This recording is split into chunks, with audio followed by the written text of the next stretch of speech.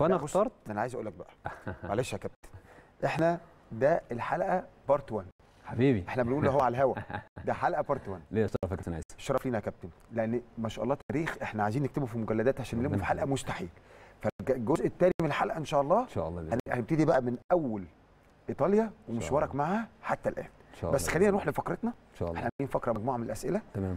ويعني إيه نشوف ردك بقى وأسئلتك. ويمكن الجمهور بيعرف ضيفنا أكتر. في الفقرة دي. إن شاء الله. خلينا نعرض الاسئله كده. اتفضل السؤال الأول. إيه أصعب بطولة كسبتها في حياتك؟ بس عايزك تتأنى في الإجابة. بطولة افريقيا بطولة أفريقيا مع منتخبات طبعا لأن أنت خدت ست بطولات أفريقيا ورا بعض.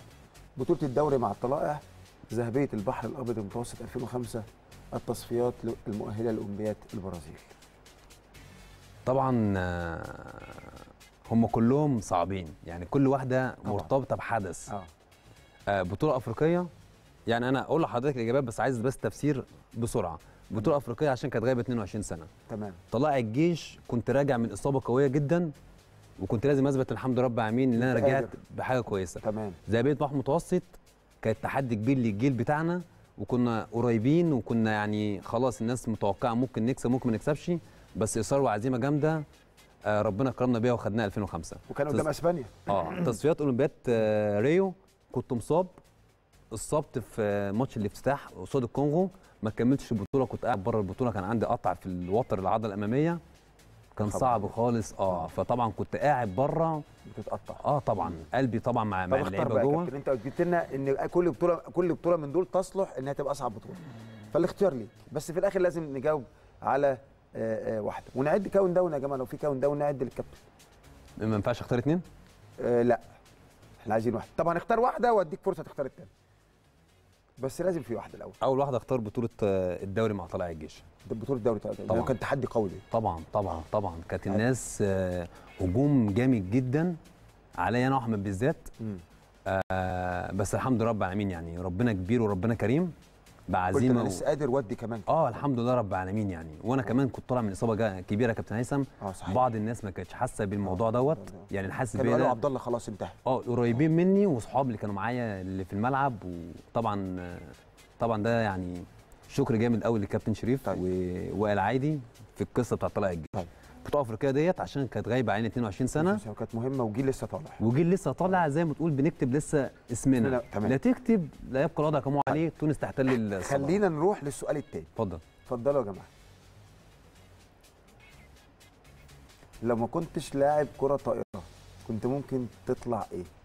واحد مهندس اثنين ممثل ثلاثة وظيفة أخرى أربعة دكتور. وظيفة أخرى لعيب كرة قدم أنا بعشق الكوره أنا لعيب كورة. طب خلاص هشيل وظيفة أخرى دي ونحط لعيب هو لو كنا حطينا الأسئلة دي بعد الحلقة كنا هنحط لك الوظيفة الأخرى دي لاعب كرة قدم. ما إحنا خلاص عرفنا. إذا يعني كابتن عبد الله كان يتمنى وظيفة أخرى لاعب كرة قدم. طب خلينا نروح للسؤال اللي بعد كده. إيه هي أكتر حاجة بتحبها في حياتك؟ الفسح التمرين العائلة؟ الأكل. لا بحب العيلة طبعا. طبعا. طبعا المظلومين في وقتهم معايا بحاول أعوض وقت قد ما أقدر يعني طول ليهم. الشتاء طبعا يعني طول الشتاء في النادي في المنتخب طبعا في الصيف وقت قليل قوي معاهم.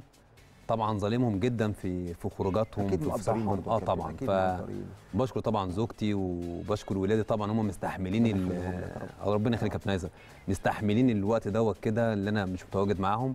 بشكرهم جدا طبعا. طبعا كل ما النجم بيزيد تألقه وبيبقى نجم كبير زيك أكيد ارتباطه بعيلته بيبقى أكتر وبيبقى مقدر مقدر الدور اللي بيقوموا بيه في حياته يعني. فدي طبعا ده مش غريب عليك يا كابتن. طب نروح للسؤال اللي بعد كده. إيه أصعب موقف حصل لك في حياتك؟ لا عايزك بقى تركز شوية. واحد موقف مع اصحابي اتنين موقف جوه الملعب ثلاثة موقف في الدراسة أو العمل أربعة موقف مع عيلتي. لا طبعا المواقف بتبقى بره الملعب أكتر يعني بحكم يعني العيشة في في الجو الرياضي والمعسكرات والبطولات بيبقى طبعا. أكتر. طب إيه, موقف طبعا بره. إيه بقى الموقف؟ كنا في في صربيا. أيوه. في الصيف آه، بنروح نلعب بطولات. فكنا في حتة مصيف كده في اسمها بادوفا في مونتينيجرو. فالصبح طبعا أنت عارف كل الأوروبيين بينزلوا يفطروا. فطبعا بسم الله ما شاء الله يعني كان في مجموعة من الناس body building كده حاجة مونتينيجرو تخض. دي اللي فوق جبل. مظبوط. صح رحتها. هي الجبال السوداء. مم. فحاجة طبعا تخض. فطبعا أنا وصاحبي محمد علي طبعا خلاص جبنا الفطار و... وعايزين نقعد على ترابيزه طبعا ما كناش واخدين اللي فيه بالنا اللي فيه ناس قاعدة. فطبعا قعدنا حطينا بناكل دول بيبصوا لنا واحد بيبص لي كده اهوت أنا اتخضيت. بسم الله ما شاء الله يعني. فقال لصاحبه بص ورا لقى إيجيبت مكتوبة. قال له إيجيبت؟ قال له أوكي. طبعا بصيت. قعدت ثلاث أيام ما نزلتش من الأوضة. ثلاث أيام طبعا. أيام ما نزلتش. طبعا. طبعا كل الناس اللي عندنا اللي أنا شايفها اللي ممكن أتعامل فيها بكلمهم مين يا كل قال لي ما باشا أعرفكش. ما أعرفكش. كان دكتور ياسر فاروق قال لي ما أعرفكش. قلت له يا دكتور ياسر قال لي ما أعرفكش. ولا أعرفك. قعدت ثلاث أيام والله اتعامل يا كابتن. لسه ما نزلش الاوضه يا خبر أبيض يا يعني خبر أنت أبيض. تشوفهم تتخض قعدت طبعا لا وكمان صربيا هم عندهم شوية يعني شعب طف. شوية. فتخيل بقى لما يبقى body building في صربيا. لا ده أنت دخلت في حتة كل يوم صحابي ينزلوا بالليل يتمشوا شوية. وأنا قاعد في الأوضة. قلت لا خلاص أنزل بقى واللي يحصل يحصل. زي المرحوم سمير غانم لما كان يقول لك الله يا محمد. مظبوط. خلاص. طيب ناخد السؤال الأخير مع بعض كده. إيه هي أكتر أكلة بتحبها؟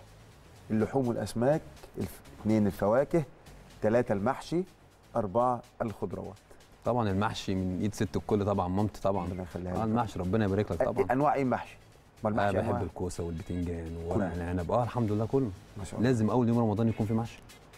ما ينفعش لازم المحشي ده طب إحنا هنعمل لك محشي كتير في كمان القناه يا كابتن يا يعني كابتن يعني. هنعمل لك حبيبي. نورنا كتير طالما بتحب أنا خلاص عرفنا حبيبي يا كابتن حبيبي بس انت ما شاء الله يعني بالرغم ان انت بتحب الاكل المصري المحشي بقى والاكل ده بس ما شاء الله محافظ على القوم باخد بالي يعني مش مش آه. كل الوقت يعني ببقى. آه لا آه. باخد بالي طبعا كويس وقت البطولات ووقت المعسكرات ووقت بداية الموسم دوت.